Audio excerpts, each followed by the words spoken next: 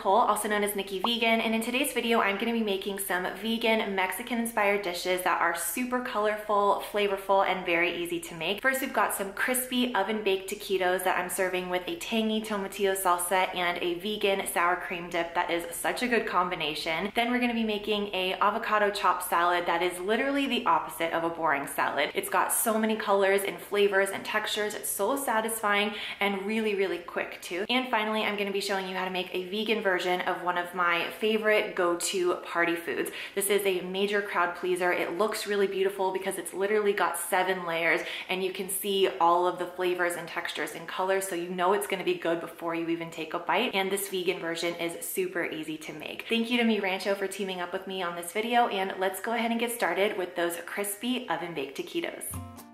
This is a new and improved version of a recipe I made years ago, and it starts with some simple mashed potatoes. But this is a great hack that you can use for this recipe or anytime you're making mashed potatoes, and that's to mash in some cannellini beans. Cannellini beans are really mild in flavor, so they're not gonna make the mashed potato filling taste beany, but they do add a nice creamy richness because of the starch in the beans, and they also offer extra fiber, protein, and added nutrients like iron. I'm gonna mash this together with a little vegan butter, some almond milk, and salt and pepper pepper. And then I really like to stir in some fresh scallions. Not only does this offer a lot of flavor, but it also looks really pretty in the taquitos. So I'm just gonna mash until this is nice and creamy. And I'm gonna roll this into some flour tortillas. I'm using the organic flour tortillas from Mi Rancho, and I love that they're really soft and pliable. You don't have to heat them up beforehand to prevent cracking. They're really easy to work with. So I'm just gonna dollop the potato mixture into the center and then I'll push it back to the lower third of the tortilla and simply roll forward. Super easy to do. The only trick is to make sure that the fold side is placed down onto the cookie sheet. That way they stay closed when they're baking.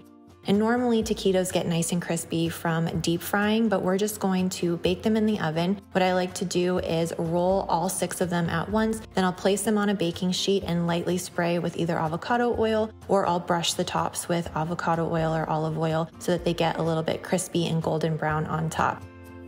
You also have the option of adding a little vegan cheese on top too, because it also gets really crispy and adds extra flavor to the taquito. So I love to do that. I think these are perfect when paired with salsa verde. There's something really beautiful about the acidity and the brightness of a salsa verde like this one. But I also like to serve it a dish with like extra sauces because just one's not enough, right? So I like to make a sour cream sauce using vegan sour cream, salsa verde, fresh lime juice, fresh cilantro, and then just salt and pepper to taste. It's really quick and easy, and it's so good with the potato taquitos. If you think about how baked potatoes are good with sour cream, these kind of have the same vibe, except they're crispy, crunchy, and a little cheesy on top, creamy and gooey on the inside, and just perfect with that salsa verde and the salsa verde sour cream tip. I really think you're gonna enjoy these. These are so good and really nice and hearty too.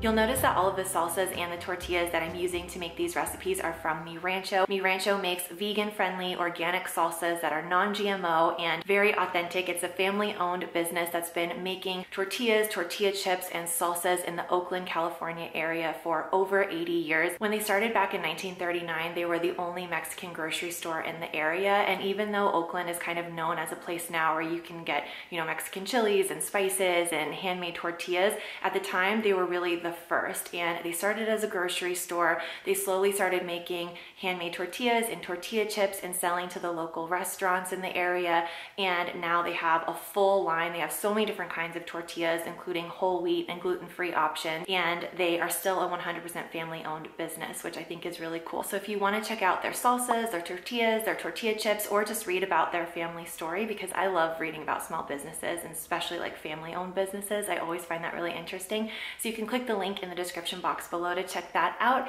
And let's go ahead and move on to making the avocado chopped salad. We're gonna start by making a corn salsa here. And for this, we're just gonna go ahead and mix together some thawed frozen corn, fresh chopped tomatoes, some finely diced red onion, and fresh cilantro. I'll bring this together with some fresh lime juice squeezed right over the top and lots of salt and pepper. I find that lots of black pepper is particularly good here, so you can do that to taste. Now, I add a little bit of cumin. I like the earthiness and the smokiness that it offers, but that's totally optional.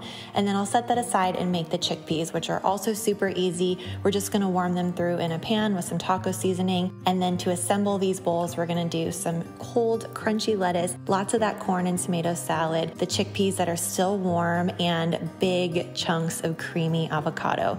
I love to contrast the creaminess of the avocado with some crispy, crushed up tortilla chips. I find that this kind of acts like croutons in the salad and offers a really nice contrast of textures and flavors. And then I kind of drizzle on that same sour cream dip that I showed you earlier, the one that has the salsa verde in it. This is so quick and easy to make, and I think it looks really pretty. You've got lots of different colors, flavors, and textures, but honestly, this is how I eat it. This right here, all tossed and mixed together. Maybe not as pretty as when it's all divided into rows, but honestly, it's better because it's all mixed and it's got the dressing on every single bite.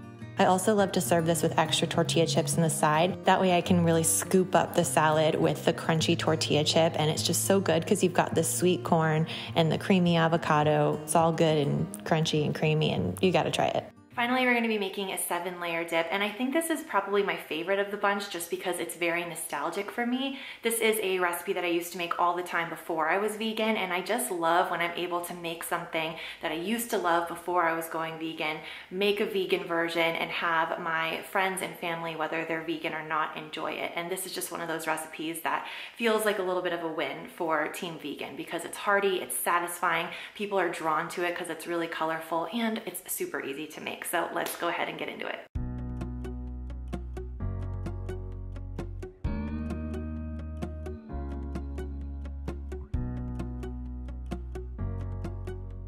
The first layer of the seven layer dip is going to be some refried beans. And if you want to take some help from the grocery store and use refried beans, this is super quick and easy. But it's also pretty easy to make your own. So I do this with some onion and garlic. I just saute that in a pan with some taco seasoning. I like to add the spices directly to the pan so that they can bloom and become super flavorful. Then we'll add our black beans, or you could do pinto beans, and then I'm just going to add some water and mash with a fork. You can really decide how creamy or chunky you want the refried beans to be. If you want them to be perfectly smooth, just mash until they're perfectly smooth. Then we're gonna add lots of flavor with some salsa. I like using a nice chunky one like this salsa roja from Mi Rancho, and this one is nice because it has a nice garlicky kick to it. Then I like to use a glass Pyrex dish like this one, especially one that has high sides so you can see all the layers because I think that's part of the fun of a seven layer dip. And I'm gonna spread the bean layer on and let it cool so that we don't melt the top toppings on top. And then we'll do a nice thick layer of guacamole. I like to use store bought here, but you could definitely make your own. And make sure that all the layers go to the sides of the dish so that you can see them. Then I'm gonna make a quick corn salsa, again with thawed frozen corn, some fresh lime juice, salt, pepper, and cilantro.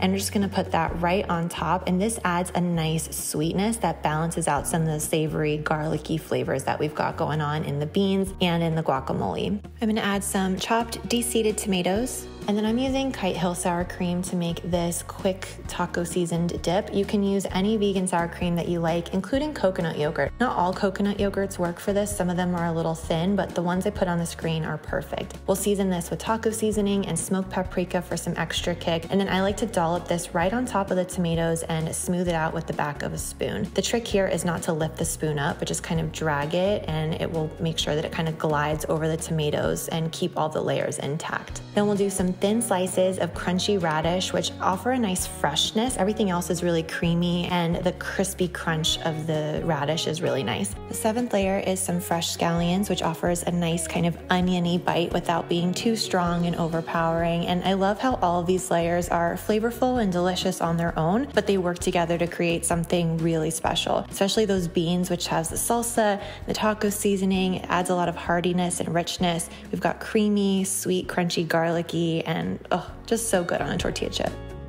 All three of these recipes really showcase that vegan food can be really hearty and satisfying, vibrant, colorful, and still easy to make. I think a lot of times when we're thinking about making vegan alternatives to some of our, you know, favorites or traditional recipes, that it can feel like, oh, we're not gonna be satisfied or we're gonna be missing the meat or the cheese, but really there's so many ways to veganize our favorite food and have that good, hearty, full, satisfied feeling, both just because the food is delicious, but also really substantial and nourishing as well. So I hope these recipes showcase that. I hope you enjoy them at home. Comment below and let me know which one you're most excited to try first.